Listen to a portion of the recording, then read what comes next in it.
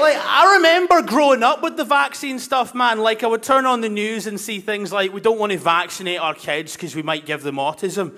But if that's true, it's going to happen when I take a vaccine. Is this going to become my superhero origin story? Although I reckon that'd be quite a great superhero. Autism boy. Leaps tall buildings in a single bound because he doesn't like being touched by strangers. As you can obviously guess, like I grew up very nerdy as well. You know, as a wee kid, I always wanted to be Spider Man. I'm not heroic though, I just fucking hated my uncle.